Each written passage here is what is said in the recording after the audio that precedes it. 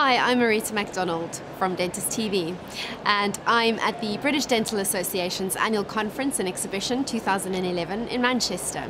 And I look forward to interviewing some of the speakers, exhibitors, and key opinion leaders at the show.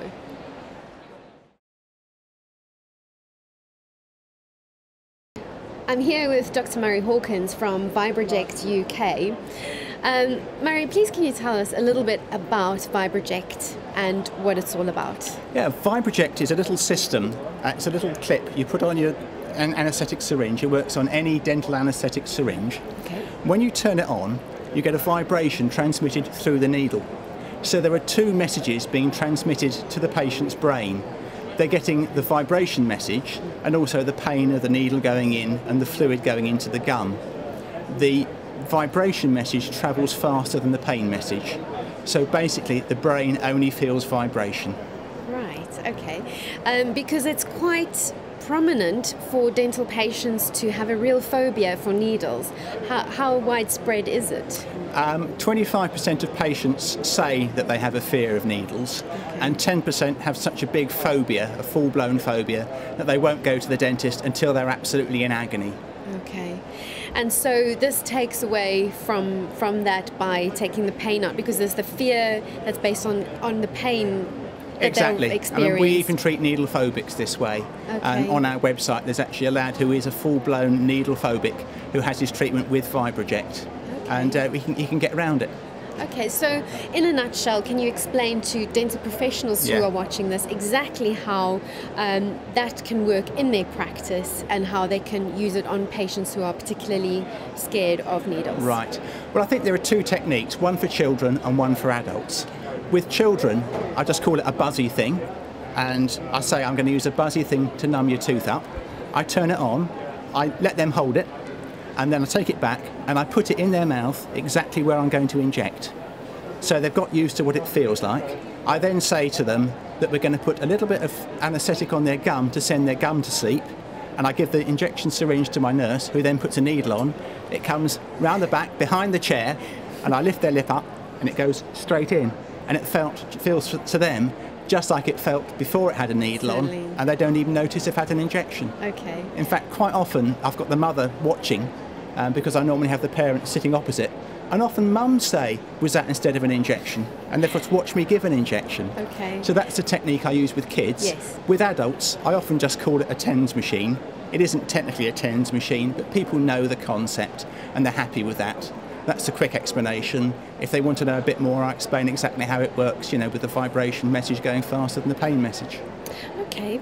And how much do these pain free local anaesthetic devices cost? Well, that's the great thing about them, they're really cheap. The basic model with disposable batteries is only £299. That's full up, no VAT on top. Uh, the rechargeable one, which is what I use in my own practice because I think it's more convenient, is £341. Murray, thank you very much for talking to us. Thank you very much. I'm speaking with Dr. John Milne, who is the chair of the BDA General Dental Practice Committee. Um, John, based on the new reforms in dentistry that are taking place, what are the delegates saying? What have you picked up in discussions today? Well, the delegates are confirming what we've known for quite a long time, which is that the profession is keen for, for there to be reforms. The 2006 contract, it hasn't worked for, uh, for patients, it hasn't worked well for dentists, and there's clearly an appetite for something new and something that's better. John, you mentioned the new dental contract. Um, what has this conference done to promote the discussion and debate around this for the profession? Well, I think the, uh, the profession's heard today that the pilots that are beginning on the new contract, which are starting anytime now really, um, are the beginning of a process of redesign. And we've heard from a dentist in Salford who's been telling us how he's put these reforms into practice in his own in his own work uh, and now that's brought about improvement in oral health in the patients that he's seen and so I think it's been a, a demonstration to people that there's practical change needed, that people need to think quite carefully about uh, uh, how they work in their practices to bring prevention to the core. Um, and those are the really important things that are necessary if we're going to bring about oral health improvement for the country. Certainly. Now, the Secretary of State's presence here at the conference really puts this in a bigger political context. What's your comment on that and how, how this is happening?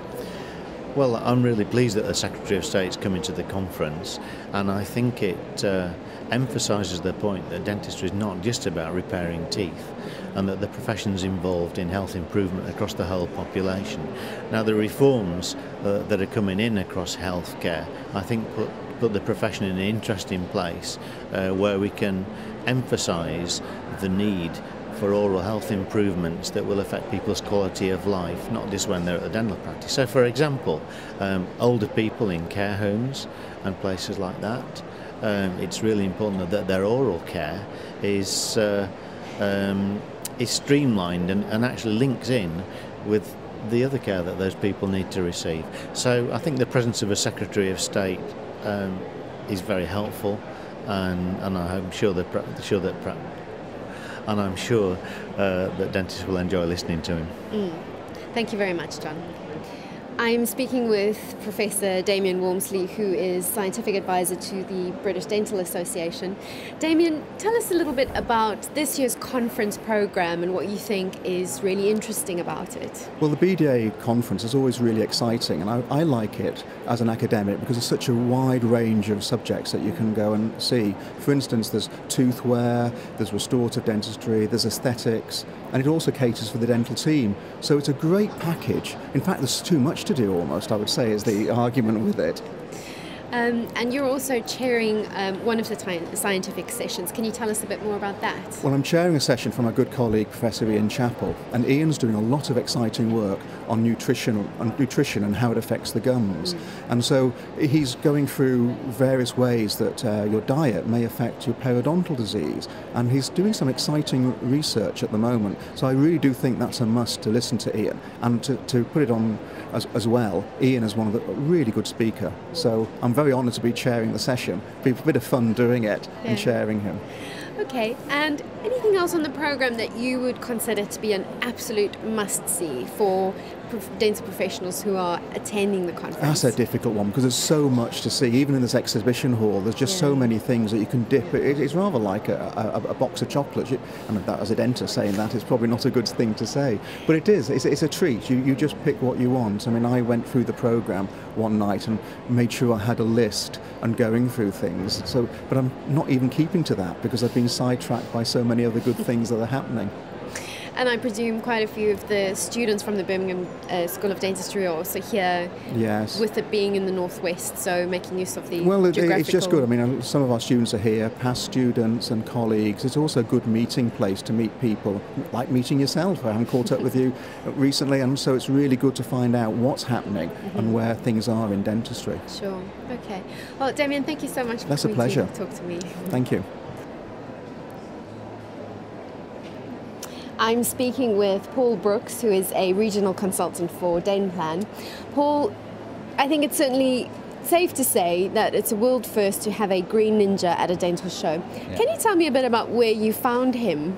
Certainly. Um, the whole concept of a Denplan ninja, or a ninja in general, is that ninjas operate uh, efficiently and ruthlessly uh, in the background quietly, hence why he's not talking. And uh, we just thought it'd be a great concept, something that has never been done before, and would make people ask the question, what is this all about? Okay, so as a practice, how can you get your own ninja? the Denplan ninjas are out there, it's just getting hold of them, getting them into practice, and understanding how they can work with you uh, in an efficient manner. Okay, fantastic. Okay. So basically, if you're a Denplan member, you actually it comes with a standard green Ninja. Basically, if you're a Denplan member, you will already be experiencing that ruthless efficiency. But okay. if you're not a Denplan member, now's the opportunity to uh, find out more of what we can actually do for you uh, as a dental practice. Fantastic. Thank you, Paul. Okay.